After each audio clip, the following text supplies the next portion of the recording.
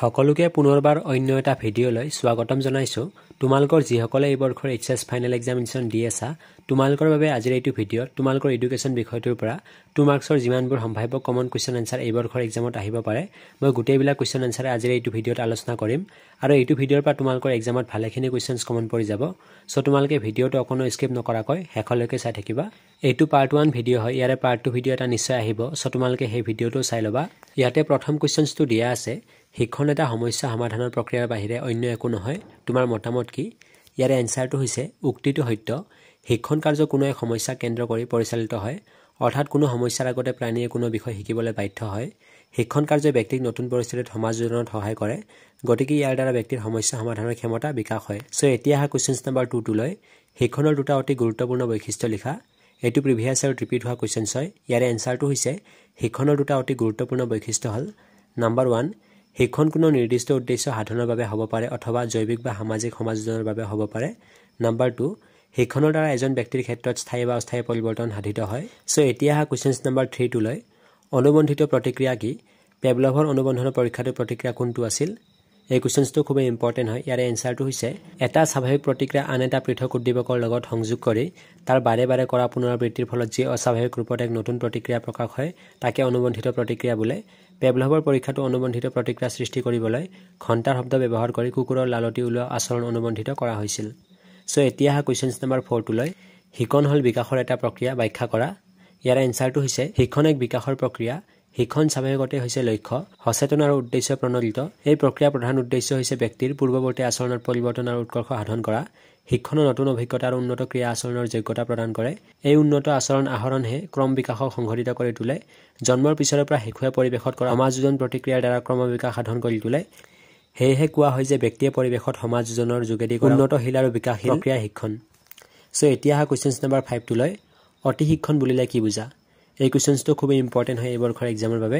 ইয়াৰ এনচাৰটো হৈছে শিক্ষণৰ বিষয়বস্তু আয়ত্ব কৰিবলৈ লগা প্ৰচেষ্টাতকৈ অধিক প্ৰচেষ্টা কৰা অতি শিক্ষণ বুলি কোৱা হয়।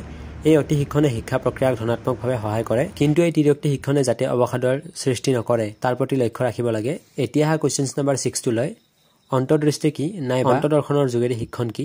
এই কুৱেশ্যনছটো তোমালোকক এক্সামত দুই ধৰণে সুধিব পাৰে। ইয়াৰ এনচাৰটো হৈছে অন্তৰ্দৃষ্টি শব্দৰ অৰ্থ হৈছে সমস্যা বা অধ্যয়নৰ বিষয়বস্তুৰ অন্তৰ্ভাগ বা আন্তঃগাঁথনিৰ প্ৰতি দৃষ্টি নিক্ষেপ কৰা। প্ৰতিটো শিকনীয় বিষয়বস্তুৰ অংশবোৰৰ মাজত পাৰস্পৰিক যোগসূত্ৰ নিহিত হৈ থাকে। এই অংশবোৰ চিনাক্ত কৰি তাৰ মাজত নিহিত হৈ থকা পাৰস্পৰিক যোগসূত্ৰৰ নিৰীক্ষণৰ যোগেৰে সামগ্ৰিক ৰূপত উৎঘাটন কৰা কাৰ্য হৈছে অন্তৰ্দৃষ্টি বা অন্তৰ্দৰ্শন এতিয়া অহা কুৱেশ্যনছ নম্বৰ ছেভেন টুলৈ। শিক্ষণৰ গেষ্টেণ্ড সূত্ৰৰ দুজন সমৰ্থকৰ নাম লিখা। এই কুৱেশ্যনছটো খুবেই ইম্পৰ্টেণ্ট হয়। ইয়াৰ এনচাৰটো হৈছে শিক্ষণৰ গেষ্টেণ্ড সূত্ৰৰ দুজন সমৰ্থক হ'ল কহলাৰ আৰু কপকা। এতিয়া অহা কুৱেশ্যনছ নম্বৰ এইট টুলৈ। অনুশীলনৰ নীতিৰ দুটা ভাগ উল্লেখ কৰা। ইয়াৰ এনচাৰটো হৈছে অনুশীলনৰ দুটা নীতি হয় ইয়াতে নীতিৰ ভাগ হ'ব লাগিছিল ক নম্বৰ ব্যৱহাৰৰ নীতি আৰু খ নম্বৰ অব্যৱহাৰৰ নীতি। এতিয়া অহা কুৱেশ্যনছ নম্বৰ নাইন টুলৈ ৰাষ্ট্ৰীয় শিক্ষা পদ্ধতি মানে কি বুজায়? এই কুৱেশ্যনছটো খুবেই ইম্পৰ্টেণ্ট হয় এই বৰ্ষৰ এক্সামৰ বাবে চ' এইটো ভালকৈ চাবা। ইয়াৰে এনচাৰটো হৈছে ৰাষ্ট্ৰীয় শিক্ষা পদ্ধতিৰ অৰ্থ হ'ল জাতি বৰ্ণ নিৰ্বিশেষে সকলোকে উন্নতমানৰ শিক্ষা প্ৰদান কৰা। Ten plus two plus three শিক্ষাৰ গাঁথনি সমগ্ৰ দেশতে কাৰ্যকৰী কৰি তোলা হ'ব। ছাত্ৰ ছাত্ৰীসকলৰ মাজত শিক্ষাৰ জৰিয়তে জাতীয় সংহতি আৰু আন্তৰ্জাতিক সহযোগিতাৰ মনোভাৱ সৃষ্টি কৰা। এতিয়া অহা কুৱেশ্যনছ নম্বৰ টেন টুলৈ জাতীয় শিক্ষা ব্যৱস্থা বুলিলে কি বুজা? ইয়াৰ এনচাৰটো হৈছে ভাৰত চৰকাৰে ঊনৈছশ পঁচাশী চনত ৰাজীৱ গান্ধীৰ নেতৃত্বত দেশৰ পৰৱৰ্তিত পৰিস্থিতিৰ প্ৰতি লক্ষ্য ৰাখি এক নতুন শিক্ষানীতি প্ৰস্তুত কৰি তোলাৰ পৰামৰ্শ দিছিল। সেইমৰ্মে ঊনৈছশ ছিয়াশী চনৰ ভাৰতীয় শিক্ষানীতিত জাতীয় শিক্ষা ব্যৱস্থাৰ ওপৰত বিশেষভাৱে গুৰুত্ব দিয়া হয়। ইয়াৰ অৰ্থ হ'ল জাতি ধৰ্ম বৰ্ণ নিৰ্বিশেষে সকলো লোককে শিক্ষা গ্ৰহণৰ সমানে সুবিধা দিয়া হয়। এতিয়া অহা কুৱেশ্যনছ নম্বৰ ইলেভেন টুলৈ দূৰ শিক্ষা কি? এই শিক্ষাত ব্যৱহাৰ কৰা এবিধ আধুনিক সঁজুলি উল্লেখ কৰা। ইয়াৰ এনচাৰটো হৈছে অগতানুগতিক শিক্ষাৰ অন্যতম দিশ হ'ল দূৰ শিক্ষা। দূৰ শিক্ষা ব্যৱস্থা হ'ল এনে এক শিক্ষা ব্যৱস্থা য'ত শিক্ষাৰ্থীয়ে নিজৰ সুবিধা অসুবিধা অনুসৰি কোনো পাঠ্যক্ৰম আৰম্ভ আৰু শেষ কৰিব পাৰে। দূৰত্ব শিক্ষা কাৰ্যকৰী কৰিবলৈ হ'লে আত্ম অধ্যয়নৰ ওপৰত গুৰুত্ব দিব লাগিব। এই শিক্ষাত ব্যৱহাৰ কৰা এবিধ আধুনিক সঁজুলি হ'ল কম্পিউটাৰ। এতিয়া অহা কুৱেশ্যনছ নম্বৰ টুৱেলভলৈ ছাত্ৰসকলৰ মাজত এক নেতৃত্ব গুণৰ বিকাশৰ বাবে মুডালিয়াৰ আয়োগে আগবঢ়োৱা দুটা পৰামৰ্শ উল্লেখ কৰা।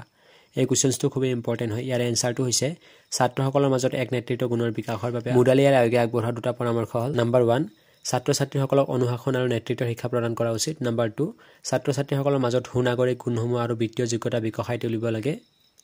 এতিয়া অহা কুৱেশ্যনছ নম্বৰ থাৰ্টিনলৈ মাধ্যমিক শিক্ষা কিয় ৰাষ্ট্ৰ গঢ়াৰ শিক্ষা হিচাপে বিবেচনা কৰা হয়?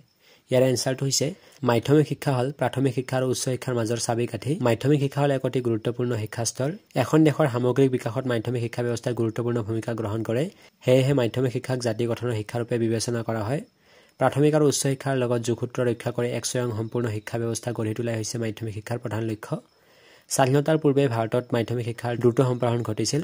কিন্তু স্বাধীনতাৰ পিছত পৰিৱৰ্তিত সামাজিক প্ৰয়োজন পূৰণ কৰিব পৰাকৈ মাধ্যমিক শিক্ষাৰ পুনৰ গঠনৰ প্ৰয়োজন গভীৰভাৱে অনুভৱ কৰা হৈছিল। সেয়েহে স্বাধীনোত্তৰ ভাৰতত এই শিক্ষা ব্যৱস্থাৰ সংস্কাৰৰ বাবে বিভিন্ন ব্যৱস্থা হাতত লোৱা হৈছিল। সেয়েহে মাধ্যমিক শিক্ষাক ৰাষ্ট্ৰ গঢ়াৰ শিক্ষা হিচাপে বিবেচনা কৰা হয়। চ' এতিয়া অহা কুৱেশ্যনছ নাম্বাৰ ফৰ্টিনলৈ দূৰ শিক্ষাৰ দুটা বৈশিষ্ট্য উল্লেখ কৰা। ইয়াৰ এনচাৰটো হৈছে দূৰ শিক্ষাৰ দুটা বৈশিষ্ট্য হ'ল নাম্বাৰ ওৱান দূৰ শিক্ষাত শিক্ষক আৰু শিক্ষাৰ্থীৰ মাজত শাৰীৰিক দূৰত্ব বিৰাজমান। অৰ্থাৎ কোনো শ্ৰেণী কোঠাত সাধাৰণতে শিক্ষকে শিক্ষাৰ্থীক শিক্ষাদান নকৰে। নাম্বাৰ টু আধুনিক প্ৰযুক্তিবিদ্যা ব্যৱহাৰৰ জৰিয়তে দূৰ শিক্ষা প্ৰদান কৰা হয়। এতিয়া অহা কুৱেশ্যনছ নাম্বাৰ ফিফটিনটোলৈ যোগাযোগমূলক শিক্ষা কিয় ডাক শিক্ষা হিচাপে জনা যায়? ইয়াৰ এনচাৰটো হৈছে যোগাযোগমূলক শিক্ষা এক পৰোক্ষ শিক্ষা ব্যৱস্থা। ইয়াত শিক্ষকৰ প্ৰত্যক্ষ শিক্ষণৰ পৰিৱৰ্তিতে চিঠি পত্ৰ বা ডাকযোগে শিক্ষা প্ৰদান কৰা হয় গতিকে ইয়াক ডাক শিক্ষা বুলি কোৱা হয়। এতিয়া অহা কুৱেশ্যনছ নাম্বাৰ ছিক্সটিনটোলৈ মুক্ত বিদ্যালয়ৰ দুটা উদ্দেশ্য উল্লেখ কৰা।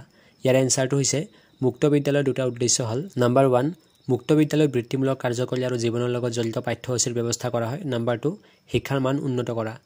এতিয়া অহা কুৱেশ্যনছ নাম্বাৰ ছেভেণ্টিনটোলৈ আই জি এন ইউৰ বিষয়ে কি জানা? ইয়াৰ এনচাৰটো হৈছে ঊনৈছশ পঁচাশী চনত নতুন দিল্লীত ইন্দিৰা গান্ধী ৰাষ্ট্ৰীয় মুক্ত বিশ্ববিদ্যালয় যাক চমুকৈ I G N O' U বুলি কোৱা হয় অৰ্থাৎ Indira Gandhi national open university স্থাপিত হয়। ইয়াত শিক্ষা সকলোৰে বাবে মুক্ত। ইয়াত বিভিন্ন ধৰণৰ পাঠ্যক্ৰম আছে। সেয়ে শিক্ষাৰ্থীয়ে ইচ্ছা অনুসৰি বিভিন্ন বিষয়ত শিক্ষা গ্ৰহণ কৰিব পাৰে। এই শিক্ষা মিতব্যয়ী বিধৰ এতিয়া অহা কুৱেশ্যনছ নাম্বাৰ এইটিনটোলৈ বৰ্তমানৰ বিশ্বই তিনি প্ৰকাৰৰ বিস্ফোৰণৰ সন্মুখীন হৈ আছে। এই বিস্ফোৰণবোৰ কি কি? ইয়াৰ এনচাৰটো হৈছে বৰ্তমানৰ বিশ্বই সন্মুখীন হোৱা তিনি প্ৰকাৰৰ বিস্ফোৰণবোৰ হ'ল নাম্বাৰ ওৱান জনসংখ্যাৰ বিস্ফোৰণ নাম্বাৰ টু জ্ঞানৰ বিস্ফোৰণ নাম্বাৰ থ্ৰী আশা আকাংক্ষাৰ বিস্ফোৰণ। এতিয়া অহা কুৱেশ্যনছ নাম্বাৰ নাইনটিনটোলৈ অনানুষ্ঠানিক শিক্ষাৰ দুটা সীমাবদ্ধতা উল্লেখ কৰা। ইয়াৰ এনচাৰটো হৈছে অনানুষ্ঠানিক শিক্ষাৰ দুটা সীমাবদ্ধতা হ'ল নাম্বাৰ ওৱান এই শিক্ষা পূৰ্ব পৰিকল্পিত নহয় নাম্বাৰ টু এই শিক্ষাত শিক্ষক আৰু শিক্ষাৰ্থীৰ মাজত প্ৰত্যক্ষ সম্পৰ্ক নাথাকে। এতিয়া অহা কুৱেশ্যনছ নাম্বাৰ টুৱেণ্টিলৈ যোগাযোগ শিক্ষাৰ দুটা উদ্দেশ্য লিখা। ইয়াৰ এনচাৰটো হৈছে যোগাযোগ শিক্ষাৰ দুটা উদ্দেশ্য হ'ল নাম্বাৰ ওৱান কম ব্যয় আৰু অধিক দক্ষতা আৰু উচ্চ শিক্ষাৰ ব্যৱস্থা কৰা। নাম্বাৰ টু নিয়মীয়াকৈ শ্ৰেণীত উপস্থিত থকাৰ বিকল্প হিচাপে উচ্চ শিক্ষাৰ সুবিধা। এতিয়া অহা কুৱেশ্যনছ নাম্বাৰ টুৱেণ্টি ওৱানলৈ মুক্ত শিক্ষাৰ দুটা সুবিধা উল্লেখ কৰা। ইয়াৰ এনচাৰটো হৈছে মুক্ত শিক্ষাৰ দুটা সুবিধা হ'ল নাম্বাৰ ওৱান এই শিক্ষাৰ মাধ্যমেৰে উচ্চ শিক্ষাক ব্যক্তিৰ একেবাৰে ওচৰলৈ লৈ যোৱা হৈছে। বিশেষকৈ কৰ্মৰত হৈ থকা ব্যক্তিসকল চাকৰি কৰি থকা ব্যক্তিসকল ৰক্ষণশীলতা বা ঘৰুৱা দায়িত্বৰ বাবে সাধাৰণ শিক্ষা লোৱাৰ সুবিধা নোপোৱা মহিলাসকল এই ব্যৱস্থাৰ পৰা অধিকভাৱে লাভৱান হয়। নাম্বাৰ টু এই শিক্ষা ব্যৱস্থাৰ পাঠ্যক্ৰমবোৰ সংগঠিত কৰোঁতে আন্তঃবিষয়ক দৃষ্টিভংগী অন্তৰ্ভুক্ত কৰা হয়। এতিয়া অহা কুৱেশ্যনছ নাম্বাৰ টুৱেণ্টি টুলৈ ডাকযোগে শিক্ষাৰ দুটা বৈশিষ্ট্য লিখা। এই কুৱেশ্যনছটো খুবেই ইম্পৰ্টেণ্ট হয়। ইয়াৰে এনচাৰটো হৈছে ডাকযোগে শিক্ষাৰ দুটা বৈশিষ্ট্য হ'ল নাম্বাৰ ওৱান এই শিক্ষা মিতব্যয়ী বিধৰ নাম্বাৰ টু এই শিক্ষাত নমনীয়তা আৰু গতিশীলতাৰ নীতি মানি চলা হয়। এতিয়া অহা কুৱেশ্যনছ নাম্বাৰ টুৱেণ্টি থ্ৰীলৈ দূৰ শিক্ষা এক নমনীয় শিক্ষা ব্যৱস্থা ব্যাখ্যা কৰা। ইয়াৰে এনচাৰটো হৈছে অগতানুগতিক শিক্ষাৰ অন্যতম দিশ হ'ল দূৰ শিক্ষা দূৰ শিক্ষা ব্যৱস্থা হ'ল এনে এক শিক্ষা ব্যৱস্থা য'ত শিক্ষাৰ্থীয়ে নিজৰ সুবিধা অসুবিধা অনুসৰি কোনো পাঠ্যক্ৰম আৰম্ভ আৰু শেষ কৰিব পাৰে। দূৰত্ব শিক্ষা কাৰ্যকৰী কৰিবলৈ হ'লে আত্ম অধ্যয়নৰ ওপৰত গুৰুত্ব দিব লাগিব। বৰ্তমান সময়ত শিক্ষাৰ বাবে বাঢ়ি অহা জনসাধাৰণৰ আগ্ৰহ আৰু প্ৰয়োজনীয়তাৰ ভিত্তিত দূৰৱৰ্তী শিক্ষা ধাৰণাৰ আৱিৰ্ভাৱ হৈছে। দূৰৱৰ্তী শিক্ষা পদ্ধতি প্ৰচলিত আনুষ্ঠানিক শিক্ষা পদ্ধতিৰ দৰে ই নমনীয় ব্যক্তি এজনৰ অধ্যয়নৰ সুবিধা আৰু তেওঁৰ যোগ্যতা অনুসাৰে শিক্ষা ব্যৱস্থা কৰা হয়। এই শিক্ষা সাধাৰণতে এক আত্ম অধ্যয়ন প্ৰণালী। এনে শিক্ষা পদ্ধতি আনুষ্ঠানিক শিক্ষা পদ্ধতিতকৈ পৰিৱৰ্তন আৰু অতি কম খৰচী। শিক্ষাৰ্থীৰ নিজা সুবিধা আৰু প্ৰয়োজনীয়তা অনুসাৰে অধ্যয়ন কৰাৰ সুবিধা থাকে। এই শিক্ষা প্ৰক্ৰিয়াত শিক্ষক শিক্ষাৰ্থীয়ে মুখামুখিভাৱে শিক্ষাদান আৰু শিক্ষা গ্ৰহণ কাৰ্যত লিপ্ত নহয়। চ' এতিয়া অহা কুৱেশ্যনছ নাম্বাৰ টুৱেণ্টি ফ'ৰলৈ মূল্যবোধ শিক্ষাৰ দুটা বৈশিষ্ট্য লিখা। ইয়াৰ এনচাৰটো হৈছে মূল্যবোধ শিক্ষাৰ দুটা বৈশিষ্ট্য হ'ল নাম্বাৰ ওৱান সংহত আৰু সামগ্ৰিক মূল্যবোধ শিক্ষা শিক্ষানুষ্ঠানৰ পাঠ্যক্ৰমিক আৰু সহ পাঠ্যক্ৰমিক অধ্যয়নৰ বিষয়সূচীৰ যোগেদি প্ৰদান কৰিব পাৰে। অৰ্থনৈতিক সামাজিক নৈতিক আধ্যাত্মিক সৌন্দৰ্যবোধক আৰু গণতান্ত্ৰিক আদি ভিন ভিন মূল্যবোধৰ ধাৰণা এই শিক্ষাত অন্তৰ্ভুক্ত কৰা হয়। নাম্বাৰ টু আত্ম উপলব্ধি ছেল্ফ ৰিয়েলাইজেশ্যন ব্যক্তিক আত্ম উপলব্ধি লাভকৰণত মূল্যবোধ শিক্ষাই সহায় কৰে। মানৱ তথা বিশ্ব শান্তিৰ বাবে কোনবোৰ কাৰ্য প্ৰয়োজনীয় সেয়া মূল্যবোধ শিক্ষাৰ বিচাৰ্য বিষয়। এতিয়া অহা কুৱেশ্যনছ নাম্বাৰ টুৱেণ্টি ফাইভলৈ শাৰীৰিক শিক্ষা কি? শাৰীৰিক শিক্ষাৰ এটা সংজ্ঞা দিয়া। ইয়াৰ এনচাৰটো হৈছে শাৰীৰিক শিক্ষা হ'ল শাৰীৰিক স্বাস্থ্য মানসিক আৰু আৱেগিক বিকাশৰ সমসাময়িকভাৱে ব্যক্তিগত বিকাশ আৰু সামাজিক বিকাশৰ দিশত শিক্ষাৰ এক মাধ্যম। জৈৱী নাচৰ মতে শাৰীৰিক শিক্ষা সেই শিক্ষা ক্ষেত্ৰৰ যাৰ সম্পৰ্ক পেশীয় কাৰ্যাৱলী আৰু সেইবোৰৰ লগত সম্পৰ্কিত অনুক্ৰিয়া। এতিয়া অহা কুৱেশ্যনছ নাম্বাৰ টুৱেণ্টি ছিক্সলৈ জনসংখ্যা শিক্ষা কি? কোনে আৰু কিমান চনত পোনপ্ৰথমবাৰৰ বাবে জনসংখ্যা শিক্ষাৰ ধাৰণা দাঙি ধৰিছিল? ইয়াৰে এনচাৰটো হৈছে জনসংখ্যা শিক্ষা হৈছে শিক্ষাৰ লগত সংলগ্ন কৰা এক বিশেষ কাৰ্যসূচী যাৰ দ্বাৰা জনসংখ্যা বৃদ্ধি ইয়াৰ ফলত সংঘটিত হোৱা নানান সমস্যা জনবিস্ফোৰণ আদি সম্পৰ্কে আলোচনা কৰা সমস্যাসমূহ সমাধান কৰা নীতি নিৰ্দেশনা গ্ৰহণ লগতে শিক্ষাৰ জৰিয়তে ছাত্ৰ ছাত্ৰী আৰু আন জনগণৰ মাজত সজাগ সচেতনতা গঢ়ি তোলা। আলভা মিৰ্ডালে পোনপ্ৰথমবাৰৰ বাবে জনসংখ্যা শিক্ষাৰ ধাৰণা দাঙি ধৰিছিল।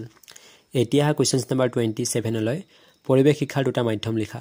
এই কুৱেশ্যনছটো খুব ইম্পৰ্টেণ্ট হয়। ইয়াৰ এনচাৰটো হৈছে পৰিৱেশ শিক্ষাৰ দুটা মাধ্যম হ'ল ভূগোল আৰু বুৰঞ্জী। এতিয়া অহা নেক্সট কুৱেশ্যনটোলৈ পৰিৱেশ শিক্ষাৰ দুটা উদ্দেশ্য লিখা নাইবা পৰিৱেশ শিক্ষাৰ দুটা তাৎপৰ্য লিখা।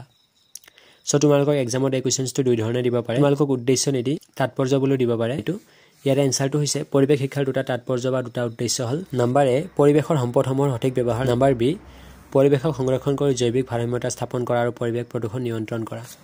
এতিয়া অহা কুৱেশ্যনছ নাম্বাৰ টুৱেণ্টি নাইনলৈ পাৰিপাৰ্শ্বিক বা পৰিৱেশ শিক্ষা কি ইয়াৰ এটা বৈশিষ্ট্য উল্লেখ কৰা। চ' তোমালোকক মই এটা কথা জনাই দিওঁ যে তোমালোকক এক্সামত পাৰিপাৰ্শ্বিক বুলি নিদি পৰিৱেশ বুলি দিব পাৰে যিহেতু দুয়োটা একেই হয়। ইয়াৰ এনচাৰটো হৈছে পাৰিপাৰ্শ্বিক বা পৰিৱেশ শিক্ষা হ'ল পৰিৱেশৰ সহায়ত পৰিৱেশৰ ওপৰত আৰু পৰিৱেশৰ কাৰণে অধ্যয়ন কৰা শিক্ষাৰ মাধ্যম। ইয়াৰ এটা বৈশিষ্ট্য হ'ল নম্বৰ ওৱান পৰিৱেশৰ সমস্যা সমাধানৰ বাবে দক্ষতা বৃদ্ধি আৰু পৰিৱেশৰ প্ৰতি দায়িত্বশীল অনুভূতিৰ সৃষ্টি কৰা। নম্বৰ টু পৰিৱেশৰ সমস্যাসমূহ চিনাক্ত কৰা আৰু সমাধান কৌশলসমূহ আয়ত্তকৰণৰ সুবিধা কৰা। চ' মই ইয়াতে দুটা বৈশিষ্ট্য দি থৈ দিছোঁ। এতিয়া কুৱেশ্যনছ নম্বৰ থাৰ্টিলৈ শাৰীৰিক শিক্ষাৰ দুটা প্ৰয়োজনীয়তা লিখা। ইয়াৰ এনচাৰটো হৈছে শাৰীৰিক শিক্ষাৰ দুটা প্ৰয়োজনীয়তা হ'ল নম্বৰ ওৱান আত্মবিশ্বাস বৃদ্ধি কৰা। খেলা ধূলা আদিৰ দৰে শাৰীৰিক কাৰ্যবোৰ ছাত্ৰ ছাত্ৰীসকলৰ আত্মবিশ্বাস আৰু সদৰ্থক মনোভাৱ বিকশাই তোলে। খেল ধেমালি সমৰ কলা নৃত্য আদিত কৰা অংশগ্ৰহণে স্বাভাৱিকতে ব্যক্তি এজনৰ সামগ্ৰিক ব্যক্তিত্ব বিকশাই তোলে। নম্বৰ টু স্বাস্থ্য আৰু পুষ্টি সম্বন্ধে সজাগতা সৃষ্টি। শাৰীৰিক শিক্ষাৰ জৰিয়তে দৈহিক আৰু মানসিক স্বাস্থ্যৰ সকলোবোৰ দিশৰ বিষয়ে উপযুক্ত জ্ঞান লাভ কৰিব পাৰি। ইয়ে সুস্থ খাদ্যভাগ বিকশাই তোলে আৰু পুষ্টি সম্বন্ধে নিৰ্দেশনা প্ৰদান কৰে। এতিয়া অহা নেক্সট কুৱেশ্যনটোলৈ নৈতিক মূল্যবোধ কাক বোলে? ইয়াৰ এনচাৰটো হৈছে শুদ্ধ অশুদ্ধ বিচাৰৰ ক্ষেত্ৰত এজন ব্যক্তিৰ চৰিত্ৰ আৰু ব্যক্তিত্বৰ লগত জড়িত মূল্যবোধ হ'ল নৈতিক মূল্যবোধ। কোনো বিষয়ত সিদ্ধান্ত গ্ৰহণৰ ক্ষেত্ৰত নৈতিক মূল্যবোধে সহায় কৰে। এই মূল্যবোধে মানুহৰ জীৱনৰ বিভিন্ন ক্ষেত্ৰ প্ৰভাৱিত কৰে। এতিয়া কুৱেশ্যনছ নম্বৰ থাৰ্টি ওৱানলৈ সৌন্দৰ্যবোধক মূল্যবোধ বুলিলে কি বুজা? ইয়াৰ এনচাৰটো হৈছে কোনো বস্তু বা বিষয়ৰ ক্ষেত্ৰত ব্যক্তিয়ে উপলব্ধি কৰা সৌন্দৰ্যই হ'ল সৌন্দৰ্যবোধক মূল্যবোধ। দাৰ্শনিক প্লেটোৱে সৌন্দৰ্যবোধৰ বিশ্বাস কৰিছিল। এই মূল্যবোধ সম্পূৰ্ণৰূপে মানুহৰ ওপৰত নিৰ্ভৰশীল সৃষ্টিশীল আৰু কল্পনাশীল মনোভাৱৰ দ্বাৰা উদ্ধৃত হোৱাকে সৌন্দৰ্যবোধক মূল্যবোধ বোলে। এতিয়া অহা কুৱেশ্যনছ নম্বৰ থাৰ্টি টুলৈ পৰিৱেশ শিক্ষা কিয় গুৰুত্বপূৰ্ণ নাইবা সমাজত পৰিৱেশ শিক্ষাৰ প্ৰয়োজনীয়তা সম্পৰ্কে চমুকৈ লিখা। ইয়াৰে এনচাৰটো হৈছে পৰিৱেশ শিক্ষা কিয় গুৰুত্বপূৰ্ণ তাৰ সম্পৰ্কে তলত আলোচনা কৰা হ'ল। পৰিৱেশ হৈছে বিভিন্ন প্ৰকৃতিৰ অন্য বিদ্যা সৃষ্টি আৰু মানুহে কৰা কেতবোৰ কাৰ্যৰ সংলগ্ন এক অৱস্থা। বয়স বৃত্তি ধৰ্ম নিৰ্বিশেষে সকলো স্তৰৰ লোকে পৰিৱেশৰ দ্বাৰা প্ৰভাৱিত হয়। পৰিৱেশ এক সাৰ্বজনীন বিষয় আৰু ইয়াৰ কোনো সীমা নাই যাৰ বাবে পৰিৱেশ অধ্যয়নক বহু শৃংখলাযুক্ত বুলি কোৱা হয়। পৰিৱেশ অধ্যয়ন মানৱ জীৱনৰ স্বাস্থ্য নিৰাপদ বাসস্থান স্বাস্থ্যসন্মত বসবাস পৰিষ্কাৰ পানী বায়ুৰ ব্যৱস্থা সাৰুৱা ভূমি ভাল খাদ্য বস্ত্ৰ আদি বিভিন্ন দিশৰ লগত ওতপ্ৰোতভাৱে জড়িত। যদি বহিৰ্বিশ্বৰ জৈৱ বৈচিত্ৰ্য অটুট ৰাখিবলৈ বিচৰা হয় চ' এতিয়া অহা কুৱেশ্যনছ নম্বৰ থাৰ্টি থ্ৰীলৈ অগতানুগতিক শিক্ষাৰ যিকোনো দুটা বৈশিষ্ট্য লিখা। ইয়াৰ এনচাৰটো হৈছে অগতানুগতিক শিক্ষাৰ যিকোনো দুটা বৈশিষ্ট্য হ'ল নাম্বাৰ ওৱান অগতানুগতিক শিক্ষা ব্যক্তি আৰু সমাজৰ চাহিদা ভিত্তিক শিক্ষা ব্যৱস্থা। নাম্বাৰ টু শিক্ষাত তাত্ত্বিক বিষয়সমূহতকৈ ব্যৱহাৰিক আৰু কাৰ্যকৰী বিষয়ৰ ওপৰত এই শিক্ষাত অধিক প্ৰাধান্য দিয়া হয়। এতিয়া অহা কুৱেশ্যনছ নম্বৰ থাৰ্টি ফ'ৰলৈ যোগাযোগ শিক্ষা মানে কি? এই শিক্ষাৰ ধাৰণা কোনে পোনপ্ৰথমে প্ৰচলন কৰিছিল? ইয়াৰে এনচাৰটো হৈছে যোগাযোগ শিক্ষা মানে হ'ল এই শিক্ষা শিক্ষাৰ্থীৰ ইচ্ছা স্বাধীনতাৰ ওপৰত গুৰুত্ব দিয়া হয়। এই শিক্ষা শিক্ষাৰ্থীয়ে ঘৰতে থাকি বিভিন্ন মাধ্যমেৰে শিক্ষা গ্ৰহণ কৰিব পাৰে। ওঠৰশ চল্লিছ চনত আইজাক উইডমেন নামৰ শিক্ষাবিদজনে পোনপ্ৰথমে প্ৰচলন কৰিছিল। এতিয়া অহা কুৱেশ্যনছ নম্বৰ থাৰ্টি ফাইভলৈ মুক্ত শিক্ষা মানে কি? মুক্ত বিদ্যালয় শিক্ষাৰ্থী কোন হ'ব পাৰে? ইয়াৰ এনচাৰটো হৈছে যি শিক্ষা ব্যৱস্থাত শিক্ষাৰ্থীয়ে সম্পূৰ্ণ স্বাধীনতা ভোগ কৰিবলৈ সুবিধা পায় স্ব ইচ্ছাৰে আৰু স্বনিৰ্দেশিতভাৱে শিক্ষা লাভ কৰিব পাৰে। যি শিক্ষা ব্যৱস্থাত শিশুকেন্দ্ৰিক শিক্ষাক গুৰুত্ব দিয়া হয় তেনে শিক্ষাকে মুক্ত শিক্ষা বোলে। আগ্ৰহী অথচ শিক্ষা আধৰুৱা কৰি কৰ্মত ব্যস্ত হোৱা প্ৰতিগৰাকী ব্যক্তিয়ে মুক্ত বিদ্যালয়ৰ শিক্ষাৰ্থী হ'ব পাৰে। এতিয়া অহা কুৱেশ্যনছ নম্বৰ থাৰ্টি ছিক্সলৈ অপাৰেশ্যন ব্লেকবৰ্ড মানে কি? ইয়াৰ এনচাৰটো হৈছে কেন্দ্ৰীয় চৰকাৰৰ দ্বাৰা ঊনৈছশ সাতাশী চনত প্ৰস্তুত কৰা এখন আঁচনি। ইয়াৰ উদ্দেশ্য হ'ল সমগ্ৰ ৰাষ্ট্ৰৰে প্ৰাথমিক বিদ্যালয়সমূহৰ উন্নতি সাধন কৰা। এতিয়া অহা কুৱেশ্যনছ নম্বৰ থাৰ্টি ছেভেনলৈ কোঠাৰী আয়োগৰ পৰামৰ্শ অনুযায়ী কৰ্ম অভিজ্ঞতা কি নাইবা কৰ্ম অভিজ্ঞতা কি? এই কুৱেশ্যনছটো দুই ধৰণে সুধিব পাৰে এক্সামত ইয়াৰে এনচাৰটো হৈছে কোঠাৰী আয়োগৰ পৰামৰ্শ অনুযায়ী ইয়াৰ সংজ্ঞা হ'ল গৃহ স্কুল কৰ্মশালা ফাৰ্ম ফেক্টৰী অথবা আন যিকোনো উৎপাদনমূলক পৰিস্থিতিত অংশগ্ৰহণ কৰা কাৰ্য হৈছে কৰ্ম অভিজ্ঞতা। কৰ্ম অভিজ্ঞতা প্ৰৱৰ্তনে আধুনিক শিক্ষাত থকা কৰ্ম বিমুখতাৰ দুৰ্বলতা গুচাব পাৰে। ই হৈছে শিক্ষা আৰু কৰ্মৰ মাজত সমন্বয় সাধনকাৰী বিজ্ঞান ভিত্তিক কাৰিকৰী বিজ্ঞান গ্ৰহণ কৰা। এতিয়া কুৱেশ্যনছ নম্বৰ থাৰ্টি এইটলৈ মুডালিয়াৰ আয়োগৰ পৰামৰ্শ অনুযায়ী অসমৰ মাধ্যমিক শিক্ষাৰ ক্ষেত্ৰত সংঘটিত হোৱা দুটা পৰিৱৰ্তন উল্লেখ কৰা। ইয়াৰে এনচাৰটো হৈছে পৰিৱৰ্তন দুটা হ'ল নাম্বাৰ ওৱান ছেবা আৰু নাম্বাৰ টু হৈছে act of nineteen sixty one এতিয়া কুৱেশ্যনছ নম্বৰ থাৰ্টি নাইনলৈ মাধ্যমিক শিক্ষাৰ লক্ষ্য হিচাপে বৃত্তিমূলক যোগ্যতা বিকাশ সম্পৰ্কে মুডালিয়াৰ আয়োগৰ পৰামৰ্শসমূহ কি কি আছিল? ইয়াৰে এনচাৰটো হৈছে মুডালিয়াৰ আয়োগৰ মতে গণতান্ত্ৰিক দেশৰ ছাত্ৰ ছাত্ৰীসকলে বৃত্তীয় যোগ্যতাৰ বিকাশ সাধন কৰি দেশৰ উৎপাদন ক্ষমতা বৃদ্ধি কৰাটো শিক্ষাৰ এক লক্ষ্য। এই সম্পৰ্কে আয়োগে তলত দিয়া পৰামৰ্শসমূহ আগবঢ়াইছিল। নাম্বাৰ ওৱান ছাত্ৰ ছাত্ৰীসকলৰ মনত প্ৰতিটো কৰ্মৰ প্ৰতি সন্মানৰ ভাৱ গঢ়ি তুলি তেওঁলোকৰ মাজতে কৰ্ম সংস্কৃতিৰ সৃষ্টি কৰিব লাগে। নাম্বাৰ টু শিক্ষাৰ সকলো পৰ্যায়তে কাৰিকৰী দিশৰ নিপুণতা আৰু যোগ্যতাৰ বিকাশ সাধন কৰিব লাগে। এতিয়া অহা কুৱেশ্যনছ নম্বৰ ফৰ্টিলৈ অসমত মাধ্যমিক শিক্ষাৰ দুটা সমস্যা উল্লেখ কৰা নাইবা অসমত মাধ্যমিক শিক্ষাৰ দুটা ক্ৰুটি উল্লেখ কৰা। চ' এক্সামত তোমালোকক সমস্যা বুলি নিদি ক্ৰুটি বুলি দিব পাৰে যিহেতু দুয়োটা একেই হয়। চ' তোমালোকে চাই ল'বা। ইয়াৰে এনচাৰটো হৈছে অসমত মাধ্যমিক শিক্ষাৰ দুটা সমস্যা হ'ল নাম্বাৰ ওৱান আমাৰ ৰাজ্যত মাধ্যমিক বিদ্যালয়সমূহ সমানে বিতৰণ হোৱা নাই। নাম্বাৰ টু অসমৰ মাধ্যমিক পৰ্যায়ৰ পাঠ্যক্ৰম দুখমুক্ত নহয়। এই পাঠ্যক্ৰম একমুখী হোৱাৰ বাবে আৰু কাৰ্যকৰী বিষয়ৰ অভাৱত শিক্ষাৰ্থীৰ জীৱনৰ লগত সম্পৰ্কহীন। চ' এতিয়া আজিৰ ভিডিঅ'ৰ একেবাৰে শেষৰটো কুৱেশ্যনলৈ অৰ্থাৎ কুৱেশ্যনছ নম্বৰ ফৰ্টি ওৱানলৈ মূল্যবোধ শিক্ষা কাক বোলে মূল্যবোধ শিক্ষাৰ এটা সংজ্ঞা দিয়া। ইয়াৰে এনচাৰটো হৈছে মূল্যবোধ হ'ল আচৰণ আৰু চিন্তাৰ বিমূৰ্ত আৰু সাধাৰণকৃত ৰূপ যাৰ প্ৰতি মানুহ অত্যন্ত আৱেগিক আৰু ইতিবাচকভাৱে প্ৰতিশ্ৰুতিবদ্ধ হয় আৰু যি অন্য মানুহৰ কাম কাজ বিচাৰ বিবেচনা আৰু লক্ষ্যৰ মানদণ্ডৰূপে স্বীকৃত হয়। আলপাৰ্টৰ মতে মূল্যবোধ হ'ল এজন মানুহে অগ্ৰাধিকাৰৰ দ্বাৰা কৰি যোৱা কৰ্মৰাজিৰ ওপৰত বিশ্বাস। চ' আজিৰ এইটো ভিডিঅ'ত মই যিমানবিলাক কুৱেশ্যন এনচাৰ আলোচনা কৰিছোঁ এই গোটেইবিলাক কুৱেশ্যন এনচাৰে তোমালোকৰ এই বৰ্ষৰ এক্সামৰ বাবে খুবেই ইম্পৰ্টেণ্ট হয়। আৰু ইয়াৰ পৰা তোমালোকৰ এক্সামত ভালেকেইটা কুৱেশ্যনছ কমন পৰি যাব। আৰু এইটো ভিডিঅ' এইখিনিতে শেষ হোৱা নাই। ইয়াৰে পাৰ্ট টু ভিডিঅ' এটা নিশ্চয় আহিব। যিহেতু টু মাৰ্কছৰ কেইটামান ইম্পৰ্টেণ্ট কুৱেশ্যন এনচাৰ আলোচনা কৰিবলৈ বাকী আছে। চ' সেইবিলাক কুৱেশ্যন মই পাৰ্ট টু ভিডিঅ'টোত আলোচনা কৰি দিম। তোমালোকে সেই ভিডিঅ'টো নিশ্চয় চাবা। আৰু আজিৰ ভিডিঅ'টো চাই যদি ভাল পালা তেতিয়াহ'লে তোমালোকৰ বন্ধুবৰ্গলৈ ভিডিঅ'টো শ্বেয়াৰ কৰি দিবা। তেতিয়ালৈকে থেংক ইউ ছ' মাছ জয় অসম বন্দে মাতাৰম।